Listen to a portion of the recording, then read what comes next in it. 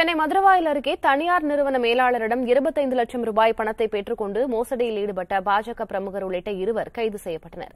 மதுரவாயில் அருகே வினோத் என்பவர் தனியார் நிறுவனத்தில் பணிபுரிந்து வருகிறார். இவரிடம் நட்பாக பழகிய சுகுமார் மற்றும் ஜானகிராமன் இருவரும் சேர்ந்து தனியார் தொழிற்சாலையில் இரும்பு கழிவுகளை குறைந்த விலைக்கு எடுத்துத் தருவதாக கூறி இருபத்தைந்து லட்சம் ரூபாய் பணத்தை வாங்கியுள்ளனர். ஆனால் கழிவுப் பொருட்களை பல மாதங்களாக எடுத்துத் தராமல் ஏமாற்றி வந்துள்ளனர். இதுகுறித்து காவல் நிலையத்தில் வினோத் அளித்த புகாரின் பேரில் இருவரையும் கைது செய்து சிறையில் அடைத்தனர். கைதான ஜானகிராமன் பாஜகவை சேர்ந்தவர் என்பது குறிப்பிடத்தக்கது.